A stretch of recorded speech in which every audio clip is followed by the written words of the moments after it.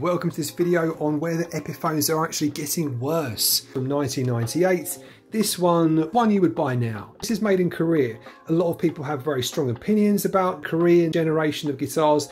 They say they are fantastic. It's Epiphone in its golden era. Those are the ones you should go for. The latest versions, they're going up in price all the time. They can be really expensive Epiphones these days. This is one of the mid-priced ones. This comparison is quite high stakes for me because hopefully by the end of this, I'll have decided which one of these I'm going to sell and which one I'm going to keep. We'll do it in several parts.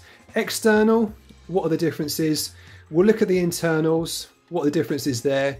General quality QC, we'll do a sound demo and then we'll do my conclusions and my personal thoughts and journey with these two guitars and what I think you should do if you're in the market for one or the other. So externally, Kalamazoo headstock on the new one looks really nice with mother of pearl style. The old one has that clip dove wing people do have really mixed opinions about that a lot of the time. I know lots of people really hate this. I'm fairly ambivalent about it. It looks okay.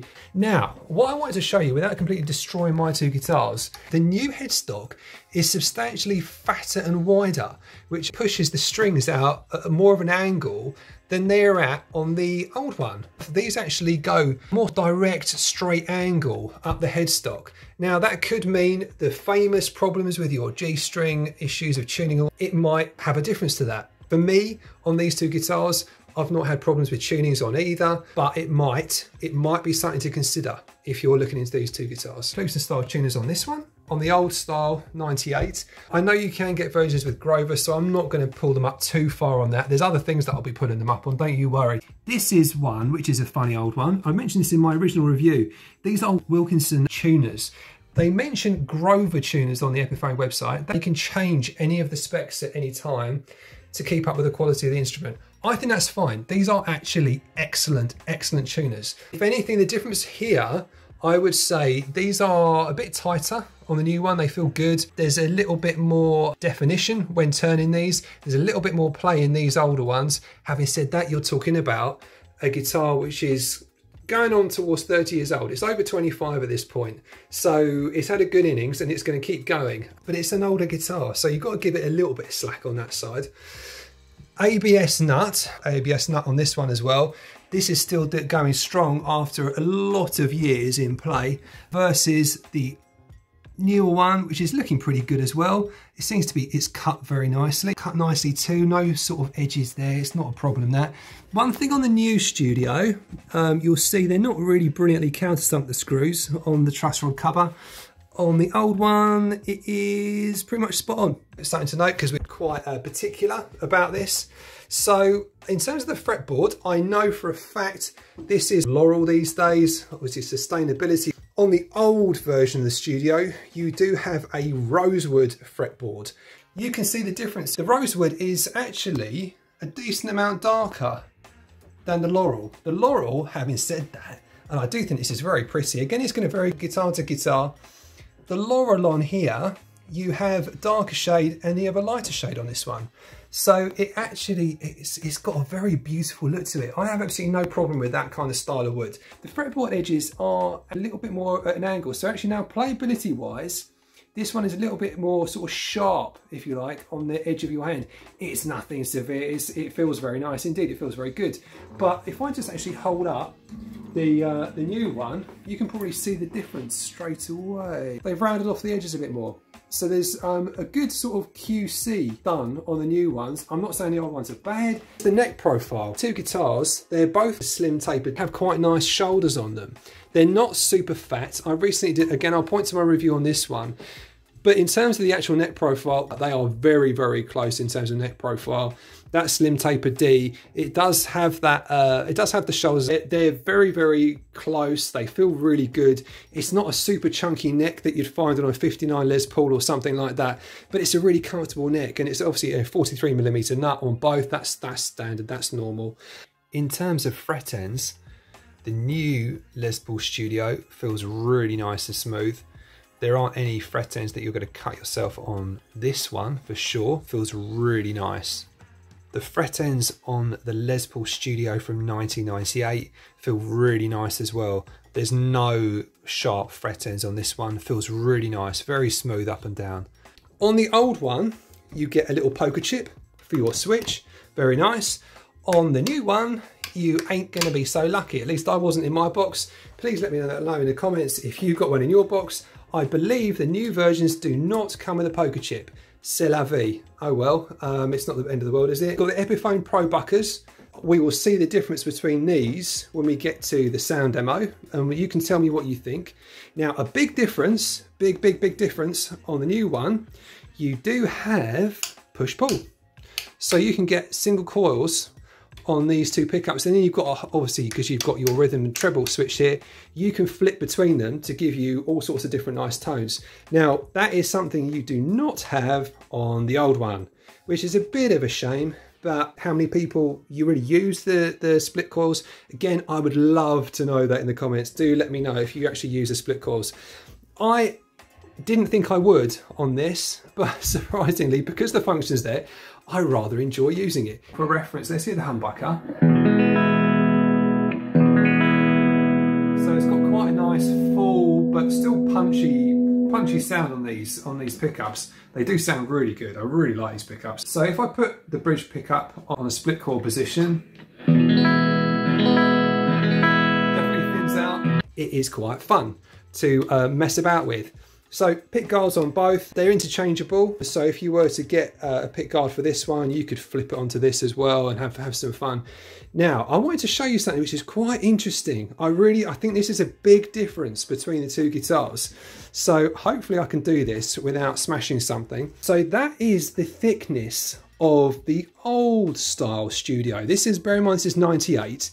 So this is how they were doing them back then. And this does not actually, by looks of it, have any kind of weight relief. We're talking about a guitar which is fairly thin and weighs at about 3.4 kilograms. There's no weight relief in this, but it is quite skinny. So it is much more along the lines of a Les Paul Special 2 kind of thickness. The new style is in fact pretty close to a full thickness Les Paul. They have done their ultra modern weight relief on this guitar. That means that although it's full thickness or close to, these guitars both weigh about 3.4 kilograms, give or take. I have a preference for sort of fatter Les Pauls. I like that. So there you go. The internals. So what does it look like? That is where we might get into some QC. I've already mentioned that this has got split coils on the new guitar. It has CTS pots which is a rather nice feature. And CTS means that you really have got something which is pretty much at the top. You're not going to get much better than CTS. Split coils look good as well. This is your quick connect. The wiring is okay in here. The routing of this is fine. I would say it's maybe a little bit on the rough side in terms of um, the finishing in here, but again, that that's not something that's not something that's a huge deal. I mean, as if many people really go into this and they're that concerned about this sort of paint job in here. I know um, I've mentioned shielding in the past in terms of the uh, the cavity. That's going to matter less or more to some people. Doesn't really like there's any shielding in here. To be fair, you don't really need it these days. Um, necessarily in a dual humbucker guitar if everything is ship shape and it's grounded properly it looks fine and it's got nice decent quality parts inside. Very, very nice indeed. Fine, switch, yeah, okay, looks all right. Again, you can see that quite a nice big giant hole in there, which indicates you have got some nice weight relief in these guitars. Now this one, this is the old style. Now, again, the routing looks clean. It actually is a little bit, I mean, you know, arguably it's a little bit cleaner um, than the new one, but it's no big deal. Now, the difference is in this one, A500, these are alpha pots. So they're not the CTS jobs. Um, it's Quick Connect. That's the Quick Connect. They're both Quick Connect. They both look good in there. Um, so really, and that's the switch. Again, that looks pretty decent in there. Nothing too alarming in either of these guitars. They both look very solid indeed. And they both have the, obviously it's the stop tail bridge and tail piece. The new guitar has the Tune-o-matic stop tail and bridge piece. And as you can see, it has these little clips inside these are really cool. They keep it nice and firmly in place. It's a nice little feature. So let's have a cheeky peek inside the pickup cavities. This is the bridge pickup. And this pickup is designed by Epiphone USA, as you can see, BB. I'm assuming that means bridge pickup. And inside the cavity itself, you can see it's fairly cleanly cut. Um, it looks like there's a bit of dust there. It's no big deal. Um, what you can see though is that sort of chambered weight relief, which, you know, is quite a big route, big hole through there. And we might see the same thing when we come to the neck pickup as well. Let's have a look. So this one, again, designed by USA Yet. BN, so that'd be the neck pickup. And we've got a similar thing there. Look, you can see that sort of weight relief there. You can see that big chamber. Um, I'll pop the image up that I had before as well. And you can see that it looks quite nicely cut. And there you go, that's inside. No long neck tenon per se, um, but it's quite nicely done. There you are. The stop tail bridge and tailpiece on the 98 look like good quality, but they don't have the little clips that the new one does. Looking inside the pickup cavities of the 98, you can see it looks fairly neatly done. The wiring looks okay. Now what is interesting though is that the pickup itself has no particular branding on it, unlike the new ones. This, to my knowledge, has never been modified. So I'd love to know what you think in the comments. And we'll have a look at the neck pickup as well. And we've got a similar deal. So again, no branding on there it looks fairly decently cut inside. So we will get, I think at this stage, into the sound demo and then I will give some final thoughts on these.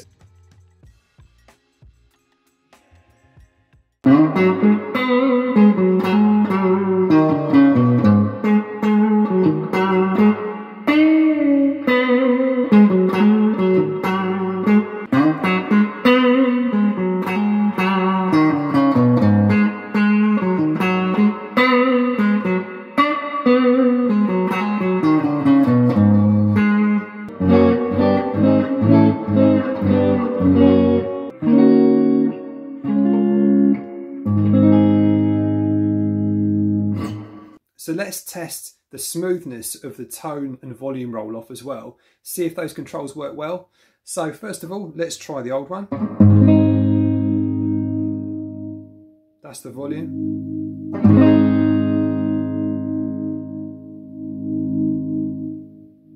Seems to be very smooth indeed. It's really nice. This is the tone.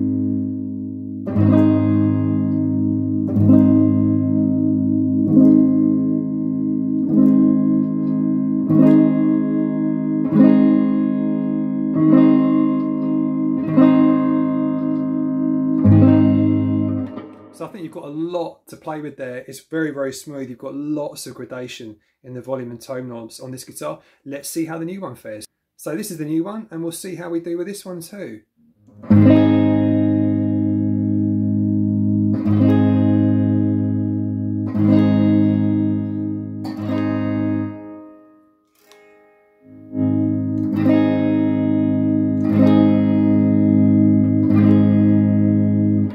Interesting. It sounds really nice, sounds really good, but um, you could probably tell there on the volume, the uh, the drop off is actually quite a bit more sudden on this one than it is on the old one, despite being CTS pots or etc. I suppose it depends where you've got smooth taper, what have you, on the pots. These are a little bit more of a, of a sudden drop off. On At least on the volume, let's try tone.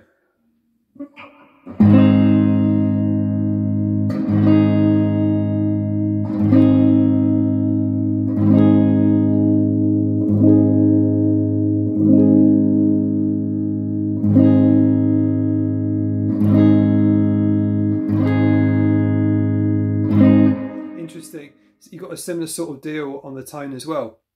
Still sounds brilliant, still sounds really great, um, but it is much more of a, of a kind of an on-off situation. Yeah, there's a little bit of gradation there, but the gradation is actually not quite as much as it is on the old one.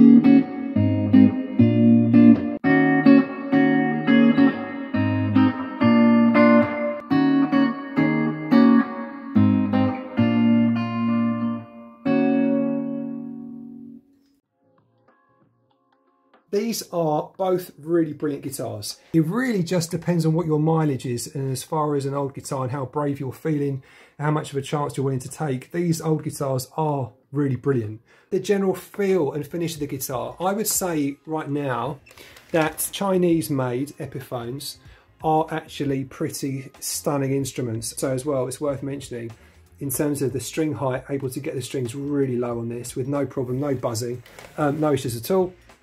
Um, similar thing on the Korean, I was going to mention my personal journey. I actually thought I started off by buying this one and I liked the studio so much that I thought, well, I'll get a new one, see, see what the differences are. I actually ended up liking both guitars massively. I think they're both brilliant guitars. If you're in the market for one, I would say if you can try them, do. If you can't, my recommendation probably, probably would be if you're fairly new to any sort of modding or anything else, just do yourself a favour, just get the new one and be done with it and to be incredibly happy. Obviously there's the big debate at the moment about the prices of these guitars some of these Chinese made Epiphones are going up into the Gibson prices now. You can be paying 1500 plus for, for an Epiphone these days. On that note of more expensive Epiphones, just for fun, let's have a quick look at this one. Uh, this is my Slash Les Paul, a recent acquisition. This is one that I will be featuring on the channel as well. This is one of the uh, more expensive ones compared to the Studio, but it's a really, really fabulous guitar. Anyway, more of that in another video. You could say in a sense, there's no stigma attached to this name on the headstock anymore. Having said that, I know people do have strong opinions for and against, hence making this video because I thought it was just an interesting topic to cover. The other thing actually to mention was they do both have carved tops. They're both very nice guitars. You can't be too sad with either one, but the older one is going to be cheaper.